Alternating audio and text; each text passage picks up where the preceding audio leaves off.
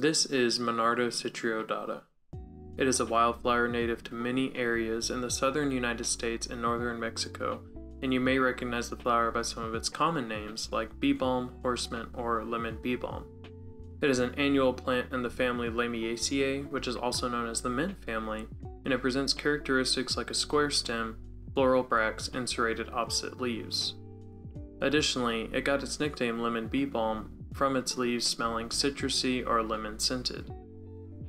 Bee balm can have white, pink, or lavender flowers with purple dots that are monoecious, and monoecious just means that they contain both male and female parts.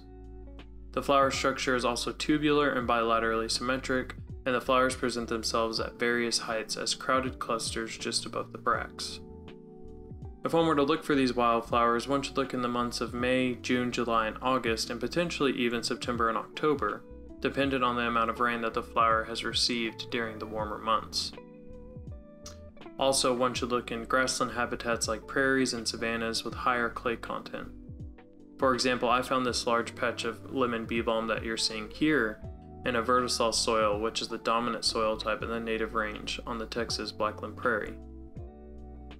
And if I haven't bored you away from this video just yet, we're actually going to move from looking at this flower in its native habitat and actually try to take a closer look at the wildflower and look at some of the finer structures that it forms and recognize just how beautiful this organism is while discussing some of its adaptations through an evolutionary lens. And hopefully we'll get to view some of its inhabitants and wonder what ecological purpose they may serve for the flower and for the ecosystem as a whole. Now one of the first places we are going to look at is at the very top of the plant. Here we get to see an up close look at two flowers that have recently developed, and you may notice that the flowers have bilateral symmetry and a tubular structure. Now for those of you that don't know what bilateral symmetry means in the context of talking about flowers, just imagine that we were to take a vertical line and cut this flower in two. And now the two parts that we have would be perfect mirror images of each other. We can also visualize some of the early stages of how bee balm produces a dense habitat for microfauna through the use of its clusters of flowers, bracts, and spinose bristles. Habitat that can attract both good and bad organisms. Now as we begin to move lower on the plant and look at some of the more mature flowers that have developed, one of the first things I would really like to point out are the small shimmering dots on top of the petals. These small dots are one of my favorite parts of the flower, and through doing some reading online, I couldn't find any direct research that has looked at why bee balm may use vital resources to produce these pearlescent dots. We could speculate that these dots may catch the eye of pollinators passing by, and there has been some research looking at how flowers from different species increase various optical phenomena by producing angle-dependent coloration through microstructures. And I know angle-dependent coloration sounds fancy, but it basically just means that it's producing visual effects like iridescence or mirror-like reflectance, kind of like what you're seeing on the petal right now. And many scientists do believe that these structures are a visual signal to potential pollinators, but it currently remains unresolved as to whether such optical effects are even biologically significant when considering the sensory capabilities of some of our important pollinators like bees.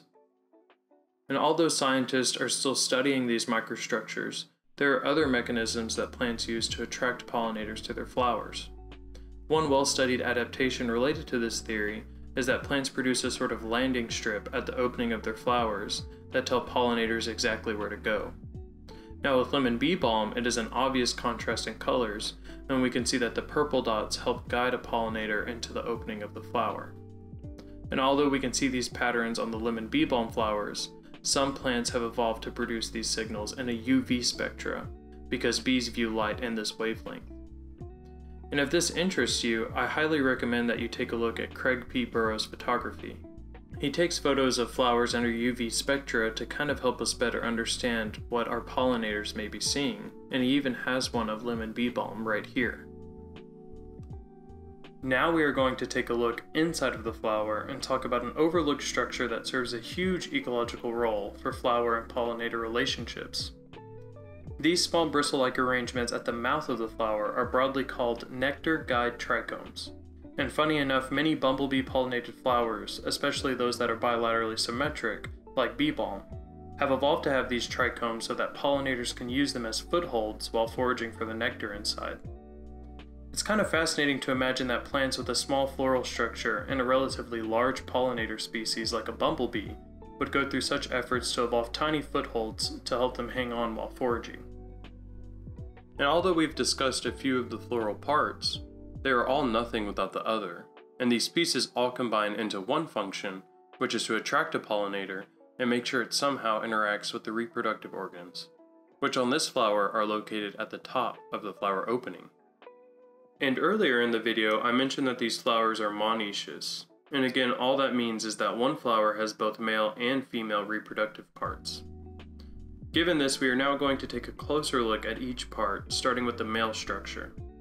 Currently what we are zooming in on is something called the anthers, which is one of two parts that makes up the stamen, which is the entire male anatomy. The anthers produce pollen, which are the small bead-like shapes you can see within the anther capsule, and as bees navigate these flowers, the pollen will then get trapped to their hairs through electrostatic forces and will then get carried to another flower where it hopefully gets stuck to something called the stigma. The stigma is one of many parts of the female anatomy and has a sticky surface that helps entrap the pollen granules, kind of like what you're looking at here. And once this interaction occurs, the flower will then proceed to form a pollen tube down the style to the ovary, where fertilization will happen. Our enjoyment of these flowers is then cut short, as it has now served its purpose for the entire organism. And soon the petals will wilt away as the seeds are formed inside of the ovules, and the flowering season altogether will come to an end. And although my favorite time of year is ending, I am thankful that the processes that we have discussed will form many seeds and new plants for our enjoyment next year. Before I go today, I figured we could take a break from discussing flowers and look at some of the microfauna that you may have noticed hiding behind the scenes. Now, I am no entomologist, but I did have fun watching these insects go about their day to day activities, and after I noticed the diversity of insects wandering around, I felt like you could spend an entire lifetime just studying the microecosystem of a single flower. And we aren't going to stop and discuss every insect that you've seen on screen, but I thought it would be fun to observe what I believe to be a juvenile aphid learning to traverse the vast landscape of this flower and forage for resources. Aphids are common soft-bodied insects that use elongated mouthparts to pierce and suck nutrients from plants. Some plants can be very sensitive to the saliva injected by these bugs, as it can carry many viruses that will harm and could even kill the host species. Fatal damage is usually only done in large groups, and the single aphid we are observing today seems that it isn't causing too much trouble for our bee balm. This aphid is currently attempting to feed on something called a bract. Bracts are modified leaves, and lemon bee balm creates very extravagant aromatic bracts to attract pollinators to its flowers.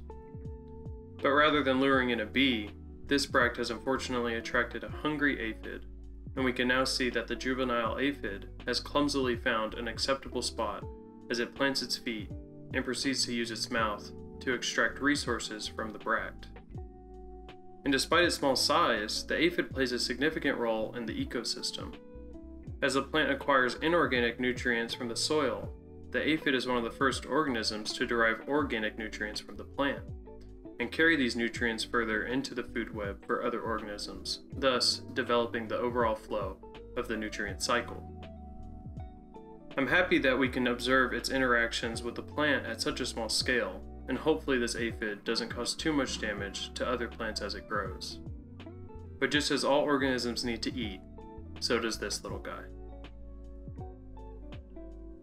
It's easy to fall into the lens of the microscope and forget how small the things we observe today truly are. It's a good reminder that the world we live in is extremely complex and there's so much for us to learn and discover. And when we study details, such as the intricate structures of the flowers or these insect microecosystems, we can gain insights into how intriguing these biological systems actually are. And I hope that when you walk down the sidewalk and see a wildflower, you can remember what we observed today and imagine the complex system that may be at hand. I want to thank you so much for watching this video, and please comment down below if you know any of the insects we saw today, or have any questions and I would be happy to answer. Also, if you enjoyed this video, please subscribe to see more, and I hope you have a great day.